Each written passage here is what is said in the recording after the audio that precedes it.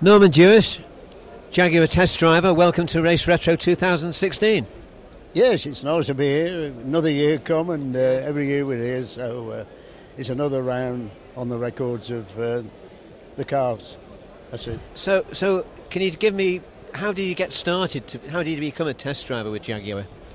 Well, I was already uh, testing for Lea-Francis. I was doing the same job there, chief test engineer, and uh, I had a phone call from uh, Bill Heynes. He was the director of engineering at Jaguar, and he said, "Mr. Dewis, we've read a lot about you. You, you. built your own race car racing." You do an excellent job at Lea-Francis. Would you like to come and uh, have an interview for the same job at Jaguar? We have a, we haven't got a test engineer. Of course, the guy who was doing it, he'd left in April uh, of, of 1951. You see, I said, well, I'm quite happy at Lea-Francis, and uh, I said, but I'll, I'll come along and uh, have a chat, you know, just out of formality. Yeah. So I went along and met Bill Heynes. I'd never met him before, and uh, he said the job was a monthly staff job, and uh, I'd been in charge of the development testing, uh, going into the racing as well.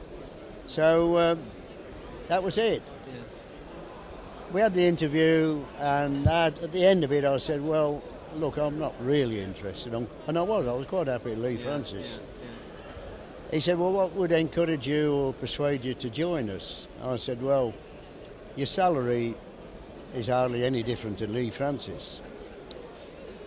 But if you pay me £2 a month more, I'll come. Right, yeah. so what, year, what year was this? It was 1952.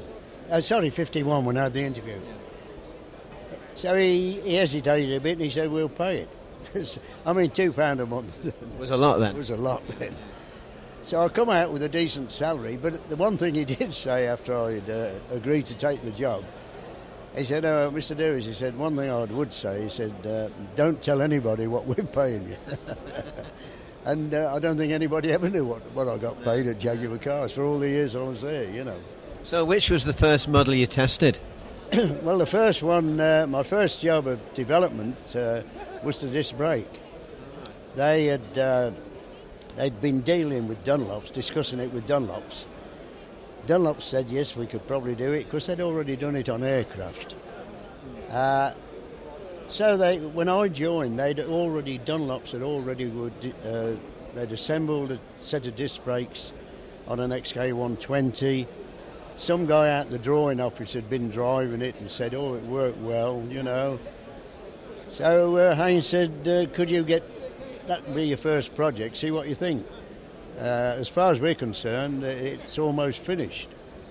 So I took it to MIRA and uh, completely failed a whole lot. I mean, it, I got the fluid boiling, there was no brake, and uh, so when I came back, I said, you, you, can't, you can't boss this off at all." So he said, "Well," I said, "No, it's, it's no good. The fluid balls knocked back on the pads, long pedal, so he said, uh, so what do we do? I said, well, my first thought would be, why put it on the XK120? Put it on the C-type, the fastest car you've got, the race car. And if we can get it right on that, I said, then we should be all right for any future model. So that's what we did. We transferred it onto the C-type, and uh, I met up with uh, Harold Hodkinson. He was the uh, development engineer for Dunlops him and his two fitters and myself, we started really doing the disc brake. And uh, we didn't want to go to MIRA because all the press people use it, all the other manufacturers, Ford, Austin Morris, and uh, Damon, all them. So we got in touch with the Air Ministry and uh, we asked them what disused aerodromes were around the Midlands, and they said, "Oh, there's one at Purton, that was near Wolverhampton." Yeah, I know, I know. If you'd like to hire that, you can. I mean, it's disused, so they gave us the keys. And we went over there, Harold Hodkinson and myself, opened the gate, went in, and there we was. Grass growing a bit here and there, and we've got a long main runway and a nice perimeter track. And I said, Harold, we could make a circuit. Yeah. He said, Do you think so? I said, Yeah, we could do all the testing here. So we went up the road, saw the local farmer, asked him to drop uh, 250 bales of straw hay down at the circuit. And so we went back next day, we paid him, and we made, with the straw bales, we made up the circuit. So now we've got a place to test, and that's where it was all done at Purton, you know. Of course, the, the circuits then were built. There's a lot of circuits like that. Well, Oh. Silverstone was like that. Silverstone was an aerodrome, Yeah. Gamston was an aerodrome, all these were disused aerodromes. So, as I say, the ideal thing was that we got it to ourselves, we could go in, uh, when we come out, lock it up. Nobody, there was no housing round there or anything, so nobody saw what was going on, you know. that. No, no, you wouldn't have to worry about noise or anything. No, no, nothing. So in the end, I say we had the long runway. I could get up to about 140 mile an hour down the runway, and then I had a big hard brake stop at the end. And of course, time and again, the pedal would go to the board, and you, you no, pumping in, you got no brake. So I used to run off the end into the grass, uh, drop it down through the gears, turn around, and get back on the circuit. And I always remember uh, once we were doing the temperatures, and uh, Frosty, he was one of the Dunlop mechanics. Uh, I came in, no pedal, and smoke coming off the brake. and Frosty jacked it up, took the wheel off, and he got a cigarette out and he lit off the disc. and I, I said, Frosty, he said, well, that's the most bloody expensive cigarette lighter I've seen. you know, that's the sort of thing Yeah, yeah. that went on those days. And that's where most of it was done. And it got to the point where we'd been working fairly hard at it. And I always remember I got back one evening back to the Jaguar, uh, into the experimental shop where my office was. So, and uh, Sir William Lyons come over and he said, do it. So I said, yeah. He said, how much longer are you going to be working on this brake with Dunlop? I said, well, we're getting there slowly, you know. I said, we're, we're achieving it. I said, we've still got one or two problems. He said, well, I think you're taking far too long. he said, in th- if you haven't done it in three weeks, we pull out, Jaguar pull out. really. Hmm. So I saw Harold Atkinson next morning. I said, Harold, he said, well, I said, the old man give us an ultimatum. He said, what? I said, three weeks if we're, we're pulling out. He said, you can't. I said, well. So we worked flat out for that three weeks, seven o'clock in the morning till it was dark at night, seven days a week. And we got it about 90% there. So we could say, yes, Yeah. we can drive on it. There's still one or two little problems, but it's not too bad. So then we've got to that stage. Then we look and say, right, we've done all the set testing. What do we do with it? So we look at the calendar. We said, well, one of the hardest races on brakes is the Mille Miglia thousand mile race in Italy. Yeah. I mean, you've got all the towns and the cities. Uh, you're driving flat out up in the Raticosa and the Futa Pass, all the mountains. so we decided to enter enter that same car with the discs on the C-type, chassis 001, and um, get Stirling. I knew Stirling quite well. Yeah. Stirling said he'd drive, providing I went with him as co-driver. So that was it. We drove it. I drove it all the way down from Coventry to Italy, over the Alps. We didn't have the Montblanc tunnel then. That must, that must, yeah, that must have been quite a drive. Oh, never touched the brakes. Geared it all over the Yeah, top, yeah, you know. So um, that's that's basically my first project. Uh, and again, at the end of it, we, we were successful. You know, we came out very successful with the display. So after that, what wh- wh- what was the next car you were involved with? Uh, C-type, of course, we raced uh, 52. That wasn't a no, good, good. That wasn't a good year for Le Mans for Jaguar. Uh, 53 was better. 54 we came up pretty good. Uh, we had uh, disc brakes all around and for the Le Mans. And uh, so that cut down the number of pit stops. That made a big difference to your position in the race as well, especially with 24 hour race. And um then following that, uh, uh, we went on to the D type.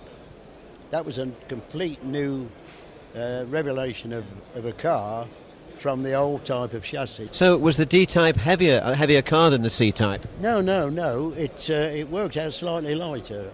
We, we had about a total uh, dry weight was 1900 weight three quarters for the uh, D type. The C-Type just went over 2000 weight, so there was it was a bit lighter. Because the construction was different for the D, you see. It was a new breakaway from getting away from a complete chassis. You had the tub, uh, the centre tub, then bolted to the um, to the tub uh, bulkhead was a subframe that carried the engine and the suspension, Right, okay. so you could detach that completely f- from the uh, tub. Then another subframe for the back. That was a new breakaway for uh, building a race car. Well, for any car. I think it was two years later Formula One adopted the same principle. Really? Yes. Yeah, yeah. Yeah. So you're ahead of them even. You were ahead of them even. Oh yes, yeah. So, so you raced at Le Mans. what year was? 55. I, I, I always raced at Le Mans, uh, but I was always a reserve driver, you know. So I always had to go and do my qualifying laps. And uh, I always remember, I think it was uh, 54. That's when we had the short nose D type. Uh, I went out and did my practice, and I was as quick as any of the, t- the drivers in the team, which is going to be because I know the car better than them, Yeah. you see. I'm living in the car day in and day out. And also, I think it was Tommy Wisdom. He used to be uh, race correspondent for uh, Sporting uh, Sporting World, and he I always remember saying to uh, Sir William, he said, "Look, look at the practice. Dewis is as quick as any of your team. Why don't you put him in the team? He's dead reliable. He won't blow it up." And Lyons said, "Yes," he said, "I know he's he's, he's better than any of them. He's he's a good top driver." He said. But what happens, he said, if there's an accident and Dewis, not through no fault of his, is laid up in hospital, what happens at Jaguar? And uh, looking at it, he was quite sensible looking at it that way. So you meant a lot to them, obviously. And, and, and Oh, if yeah. you weren't there, what happens to the test program? That's what he was saying, yeah, yeah. You see, I wasn't only responsible for the race cars, I was responsible for the production, new new production cars. I had a dual purpose job. You see, most Mercedes, Ferrari, and them, they had uh, a test engineer, test driver for the racing, and another one for the uh, pr- uh, production stuff, you know. Because I said to Lawrence once, I, I got up to here, I could not. There was a race car I got to do. There was this new uh, new saloon car. I think it was the Mark One saloon, developing and trying to develop. And I said to him, I need, we need another somebody else. I said, I can't. And he said, why? I said, "I- it's getting a lot. He said, do it, you can do it. He said, we don't need another one. He said, you're the only one. And so I, I carry, and I've all, I did it all on my own all the time. But I, say, I see his point, you know. But of course, all the cars, you knew them better than anybody, didn't well, you? that, that's that, that's what he was saying, you see. And uh, but I always, I always, I mean, he was very, very forthright man, a very hard man, but he did appreciate. He knew what who was doing what and who he, who his best men were. And I think in his, in his eyes, I was probably one of his the best blokes he'd got. You know. And you also had a, a record for the fastest road saloon, was oh, it? yeah, that was the uh, Belgium uh, record when I went over there. We took a 120. We'd been over there before, and we'd put the record. we went over there in uh, April '53. We put the record. I think it was up to about 146 for the flying mile. Uh, and of course, the reason we, we used to do that, I mean, we, not only us, other other companies went and did uh, runs as well, record runs. It was cheap publicity. It didn't cost you much to do it. I think they only charged 25 quid to close the whole road for the day and everything, you know. And uh, so we went over in April, and I took the record. I think it was up to 145. I came back, got a lot of publicity on it, and then I think it was. Uh, the end of August, first week of September, Lyons come to me in the shop. He said, Dewis, uh, your records uh, that you got at Belgium. I said, no, Jaguar. No, your, your record. He said, we got it for Jaguar, of course. He said, you, you know you've lost it? I said, no. I said, well, I, I wasn't aware of that. I wasn't, I mean. Anyway, he pulled a newspaper out and he said, here, look. He said, this uh, Spanish firm, uh, and he was trying to say the name. I said, oh, you mean Pegaso? That's it. He said, they took it off you. I said, when? He said, look here, last week. I said, well, what they put it up to? He said, 155. He said, you want to think? I said, look, the, the XJ120 is the only sports car we got. And the last time I drove it at 140, 45, I said the car was very dodgy. I said, I, I wouldn't want to drive it any. I said, I don't think we can get it any quicker. He said, well, I think you ought to think about it. He said, do something. So Heynes, my boss, next morning came, he said, has the old man had a word with you? I said, yeah, he was on about Jabbeke. He said, he's been on to me, he said. I said, well, there's nothing we can do, really. He said, well, we ought to try something. So anyway, we got the XK120 in the shop. Malcolm Sayer, he was the aerodynamist. Brilliant man. He did all the 120s, the C-type, D-type, XJ13, all the sports cars. Brilliant shapes. He stood there. Uh, Bob Knight on the suspension. He was the suspension man. Emerson from the engine shop. So we look at the 120 and I said, look, what do you do with it? I, said, I'm not driving it unless we... So Sayer said, well, if we undershield it right from the front to the back, seal it all underneath, get a good airflow. He said, and then we'll close the uh, passenger cockpit with a met- metal tonneau.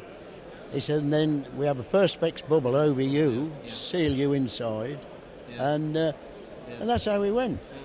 Jack Emerson said if we take the offside headlamp out and duct it to the carburetors, get ram air, that'll be worth another. This is how, Bob Knight said, well, we'll stiffen the suspension so there's hardly any movement uh, because we're altering the airflow. He said, we'll buff the tyres off, no tread, and uh, blow them up to 50 psi so you only have a small contact. and this is how they went. Yeah.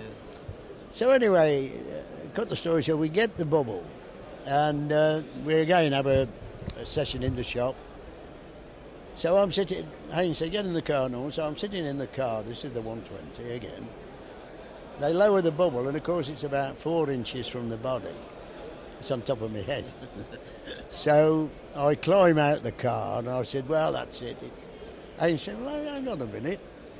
So he said to one of the fitters, he said, take the seat out. So I knew what was coming. So they take the seat out. He said, Get in, Norman. I said, No. I said, I am not sitting on the bloody floor. He said, Just get in. So I get in the car, sitting on the floor, and of course the steering wheel is seven inch wheel is up here, you know. And, and uh, I said, There's no way I'm driving this.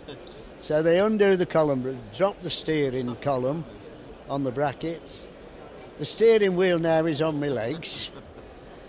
So uh, he said, well, where would you? I said, well, about there. But I said, it's on my leg. He said, don't worry about that. So he measured that. He said, we'll get a 14 inch, we'll make a 14 inch wheel. So that's what we did. We finished up lowering the column, 14 inch wheel. I had a three inch sorbo to sit on, pad, and they made a small thing for, for me back. The bubble now hinged on the bonnet, so when I was in it, closed over me and they screwed it together from outside. So there's no way I could get out. So that's how we took the car to Jabbeke. And uh, just to give you a, a quick uh, sur- survey of the run, we uh, we got there on the Saturday, and Lofty, he was the team manager, he said, uh, Norman said, well, how about Monday morning? I said, yeah. He said, that'll give me time to get the police to close the road and uh, all the time and equipment up, so they have to do. So I said, well, let's do it about half past six Monday. Half past six Monday, everything was right. We turn up. You have to you have to uh, put the fu- ordinary fuel in, which they bring Shell. They seal it so you can't put any nitro in or anything. And that's how the car was set up. Away we go, and. Uh, I do my first. I'm doing my first run down. I, I do one or two runs, warm it up, and then when I said right, I'm going to do this is the official time one. Did you have to do two runs again there? You have to do uh, one down and one back, but it's got to be within five minutes to count. So it's all you have is a black and white, big black and white checkered board. I can see. That tells me that's the start of the flying mile and the kilometre. So uh, you have two. They close five mile of the road, and all the people have come over and standing on the side of the grass. It was. I mean, you wouldn't do it today, the health and safety. But anyway, I start my first run, and I'm coming down, and uh, I look at the rev counter through the gears, and I'm now in top gear. I'm pulling five five, five six, five seven. Now Jack Emerson, the engine guy, said Norman, five eight, just just just limit. The checker, uh, checkered board is way ahead, and I'm now pulling five eight in top. Now I think, do I lift off and abort? I thought, no, we'll carry on. It was running smooth. I mean, the oil pressure was right, water temperature was 70, dead on. So I let it go, and by the time I reached that checkered board for the measured mile, I was pulling 6.3. I went through at 6.3, got through, then you have two mile uh, run out to come back again. I get to the end of the two mile, slow down, and um, the Dunlop guy who looked after the tyres, he was there purely to check the uh, the tread to make sure there was no canvas, because we we'd reduced it down to two mil, buffed it up. He looked, I couldn't speak to him because of the bubble, and he just went, "Okay, do the run back," and I pulled six three again. yeah. Now then, I think, wow, that's good. We've done it. I then come back to uh, where the uh, timing people are, the equipment. There's all the press people, and as I pull up, Lofty, team manager, he stands there with his arms folded, and he said, uh, "You all right, Norman?" I said, "Yeah." I said, "Excellent," because they've now screwed the bubble off. So uh, he said, "Well, you're not very quick." I said, "What?" He said, "You're not very quick." I said, I've got to be. I said, I pulled five three. He said, there must be something wrong with the rev counter. He said, you're not as quick as you were when we were in in April. I said, Lofty, I've got to be. He said, no. And he walked slowly across now. Nobody had smiled, nobody had looked. He came over, gave me a big hug. He said, you buggy, you know what you've done? I said, no. He said, 172.4. He said, you've shattered, you've shattered the record. and all the crowd cheered then, you know. But they they arranged this. Don't Yeah. don't let him know when he pulls. It was all the way you did things them days. Very very comical and a bit of fun, you know. So how did long, how long did that record last? Still got it. Really? Still got it because because what happened after that? Oh, just to finish off our side of it, Lofty, when we got back to the hotel, said, I'd better ring the old man, that's Lyons, tell him. So he, I heard him on the phone, yes, yes, he said, Norman's really shattered it. 172.4. And he's saying, no, no, no. He said, uh, miles per hour. The old man had thought it was kilometres, and he said, that's not very quick. so Lofty had corrected that. Then he put him on, he said, Norman, he wants a word with you. So I got off the phone. I said, good morning, sir. He said, uh, Dewis, congratulations. I told you you could do it. He said, I knew you'd get it back. He said, by the way, I've just so, said, told England to uh, go into Brussels tonight. You can have a bit of a party. I said, oh, thank you. He said, but don't forget, Dewis, champagne's very expensive. Anything on the money side again. And then of course you um, you had an accident in a car that was used for a Bond film. Is that right? Oh, that was the XJ13. Uh, I'd already had a crash in a C type and a D type, but the XJ13 was a one off, re- first rear engine car we'd built, first V12 engine to run, and uh, it was during the. Uh, I was doing a film on uh, for the film people, and uh, I'd done a, they, we'd done all the still shots and all that low speed. Then they said, would I go on the outer circuit? That's the uh, triangle circuit, 2.8 mile with a banking at each corner. I'd already got uh, the lap record there of 160 for a lap. So I said, well, what do you want? They said, well, can you do four quick laps? We're going to put a camera up on the banking so you we see you coming into it. I said, you know what I do.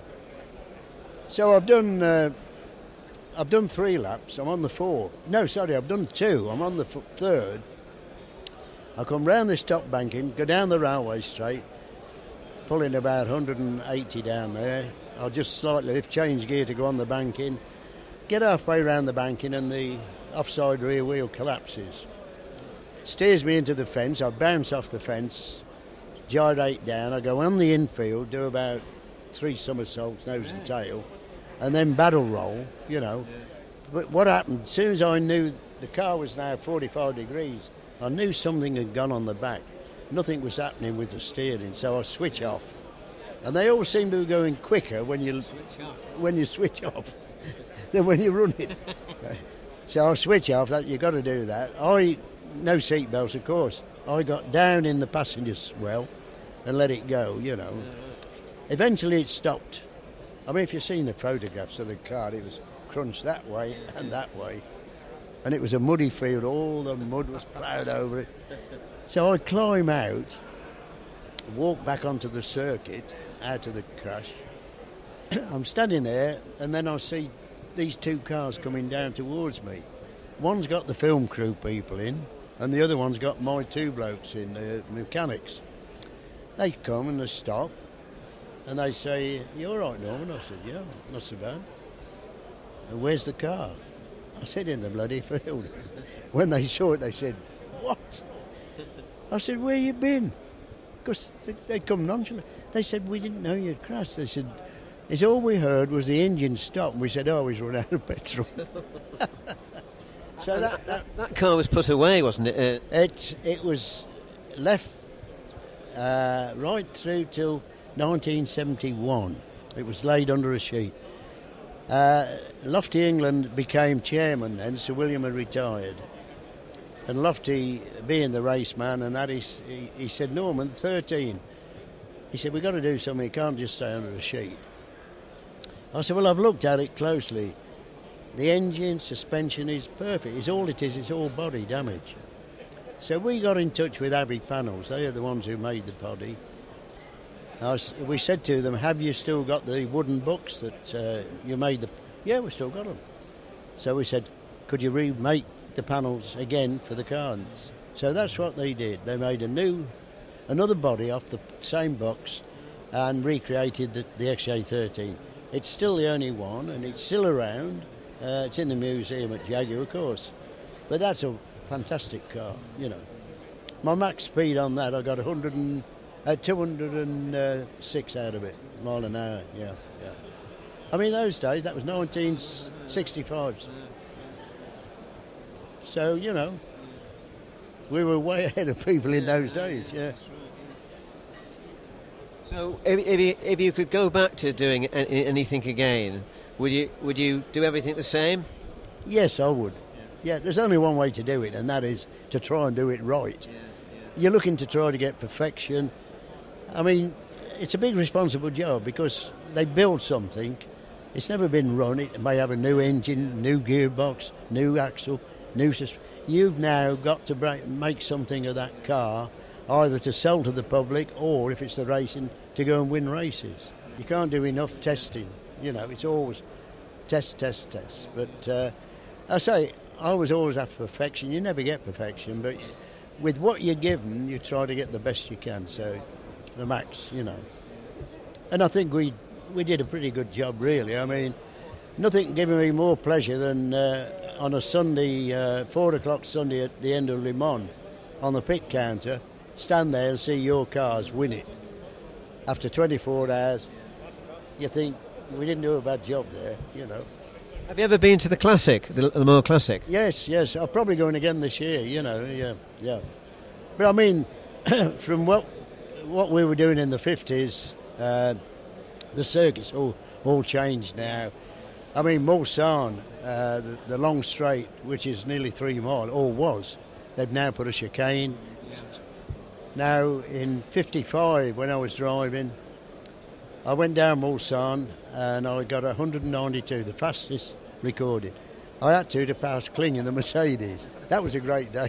when you know you've you've passed the Mercedes, and I got the fastest down there, 192. You know, but I say, uh, as regards the Jabbeke, what they did to celebrate uh, that uh, I'd done that speed, the, the police said, and the and the Automobile Club of Belgium said, no more, it's too dangerous.